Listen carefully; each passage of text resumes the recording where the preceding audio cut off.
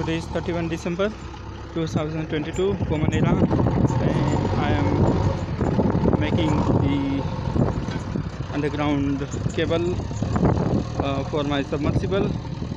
Uh, it was approximately 500 feet deep, uh, 500 feet length, uh, and uh, deep on uh, 3 to 4 uh, foot. Soil is very good. Uh, think uh, there is lots of sands, and what it needs is the uh, chanyu khatar, composted uh, manure, and uh, gypsum. Otherwise, land is very good. But there is a bit of saltiness. Saltiness uh, will be cured by gypsum, and living element will be added by the cow manure. That's it, folks.